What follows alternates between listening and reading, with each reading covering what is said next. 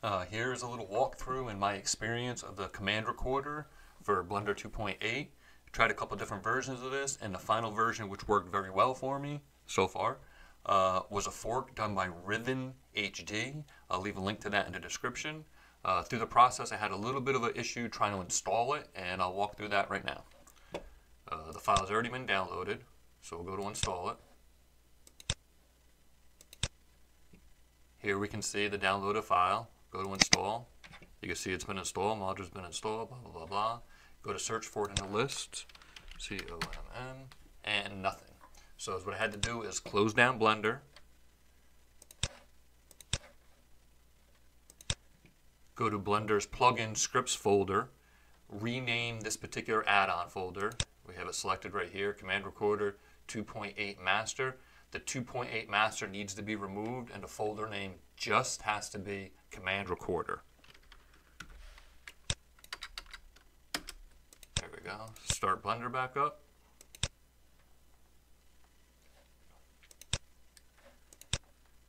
Check the list.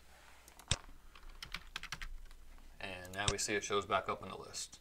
We'll enable it, save, blah, blah, blah. Uh, we shall keep the cube.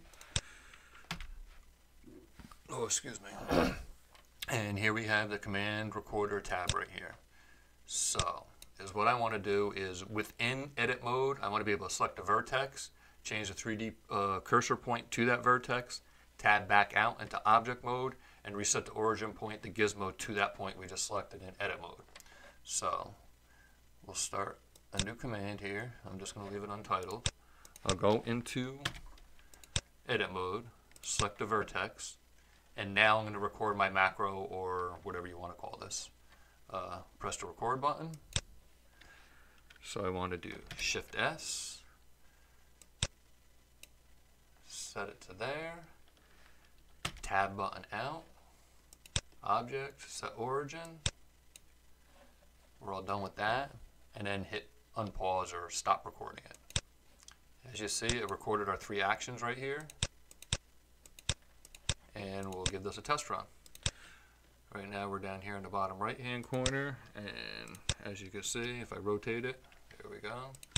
So I'll go into edit mode, select this corner, hit play and we're, as you see we're back out into the object mode here and now we're rotating it there. So right now I'll take this, we'll rename it. Uh, set or uh, set origin and we'll assign that to a button down here to make it a little bit easier. And we should say record to a button. As you see number seven just popped in down here set to origin. So now we'll give this a test again back into edit mode. Select this corner seven oh set to origin and here we go. As far as rigging the command recorder to keyboard shortcut keys, uh, the only thing I've been able to find so far is hooking up to rigging to the play button here. And if you hover over it, you can see the shortcut is shift and period. Uh, that you can change. I'll show you how to change that right now. Edit mode, preferences, key map. We'll search for command. Right here you can change that to whatever you want. Uh, the only thing with that is if you have multiple commands, you'd have to select each command in order for this to work. So we got shift period is the command. We're going to tab mode and check out the first one. There we go. Shift period. And voila. We'll do it again. Shift period. And voila. I added a second one here just to show, uh, just to move the object to the left a little bit. And that is selected and we'll go shift period. And as you see it moved. Shift period, shift period.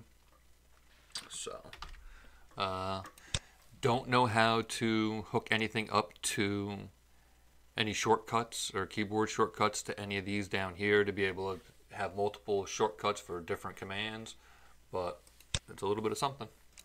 Hope someone found this useful. Take care. Bye.